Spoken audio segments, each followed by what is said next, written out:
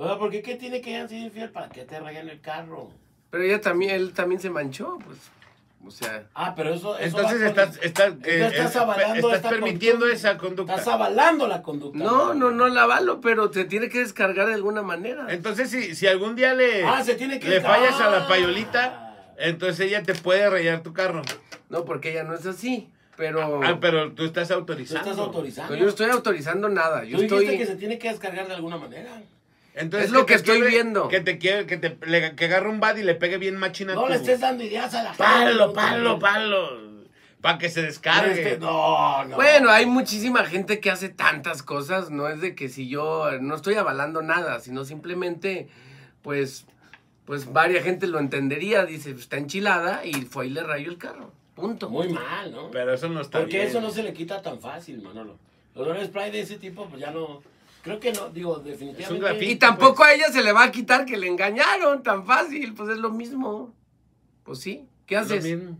Mira, es una marca que te queda. Una letra escarlata que vas a llevar siempre en tu En pecho. tu vehículo. Digo, no es, no es lo correcto de que se manchen de esta manera, pero pues no sé cómo sería su Porque relación. violencia genera violencia, ¿estás de acuerdo? No sé. Bueno, eso no es violencia, pero... Ah, caray.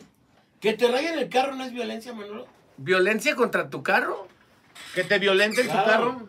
Eso, ¿sabes que si tú vas ante una autoridad, eso se llama daño en las cosas, Manolo? Ajá. Entonces, claro. Y que es un delito. Es un delito, se persigue. Entonces, ¿la meterían al bote porque se lo rayaron o qué?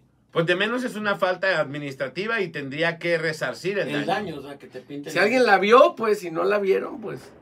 Pero tú sabes quién, ¿no? ¿Sabes a quién le fuiste infiel? Y sabes a quién bloqueaste. Pero necesitas ¿no? pruebas y todo ese rollo. Sí.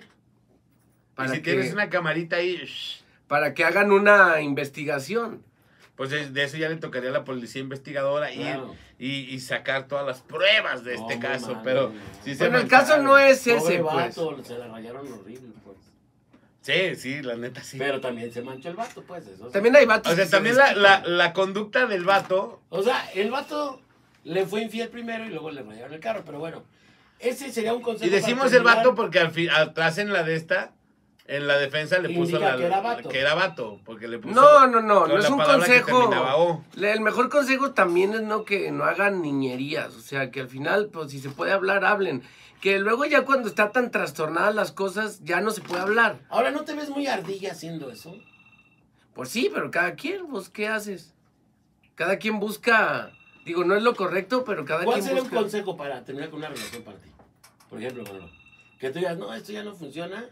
Un consejo práctico para que no sabes cómo decirle, porque sí hay veces en que no sabes cómo terminar con una relación. Pues sí, sí, porque no quieres dañar la, ¿cómo? La Susceptibilidad de las cosas, la persona, los sentimientos. Pero la neta también va de por medio tu tranquilidad, ¿no? ¿Estás de acuerdo? De acuerdo. Si ya te están hostigando por muchísimas cosas, Ya se puso muy tóxico. el tema tema. redes o tema plantones o persecuciones o, o, lo que tú quieras, Neta, hay plantones, o sea, hay pues de que te... O sea, que te estén afuera vigilando. Fiscalizando. Sí.